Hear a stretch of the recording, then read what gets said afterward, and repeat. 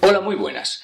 Resulta que si el mar Mediterráneo, nuestro querido mar Mediterráneo, no estuviera ya suficientemente sobreexplotado, hecho polvo y arrasado, porque hay que estar arrasado, ahora resulta que hay una petrolera irlandesa que va a empezar a hacer prospecciones sísmicas. Esto significa que va a ver si hay petróleo mediante unas explosiones que generan tal ruido que va a destrozar todo lo que hay a su alrededor. Para que se hagan ustedes una idea, el ruido que va a provocar es mayor al que provocó la bomba de Hiroshima en su hipocentro. O sea, tremendo.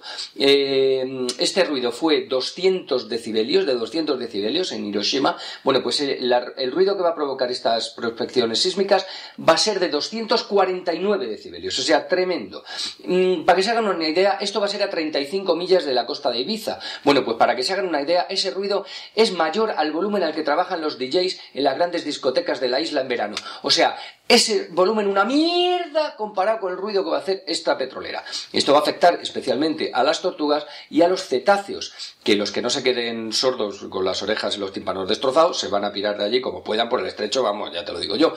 Además, eh, los que se queden eh, les, mm, les destroza las rutas migratorias, les va a desorientar, por lo cual no se van a poder alimentar, va a ser una absoluta catástrofe y para la pesca ya es definitivo, o sea, arrasa la poca pesca que queda en la zona.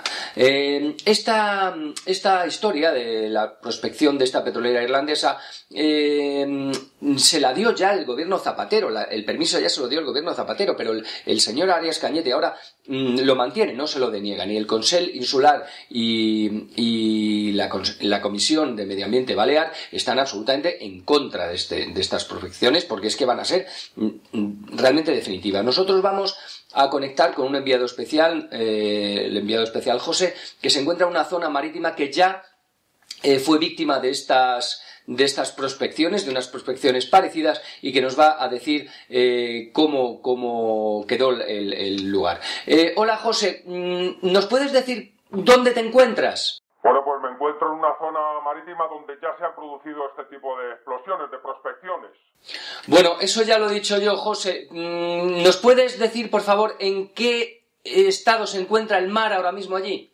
Bueno, pues aquí si te metes con las gafas de bucear, pues ves que lo único vivo que hay es un señor jubilado que se está bañando y que ha venido en una excursión de Mirueña de los Infanzones, Ávila. Pero vamos, peces, lo que se dice peces no hay. Ya, ¿y hay cetáceos? Hombre, el señor está gordito, pero vamos, tanto como cetáceo, pues no tanto no. Bueno, pues nada, muchísimas gracias José. Ya para despedirme me gustaría decir adiós, pero antes eh, le querría lanzar un mensaje con todo mi cariño al ministro de Medio Ambiente, el señor Arias Cañete. Por favor, por favor, se lo pido por favor, y creo que hablo en nombre de muchísimos, muchísimos seres humanos, déjennos, cuídennos el medio ambiente que nos queda, ya que el otro medio se lo han cargado.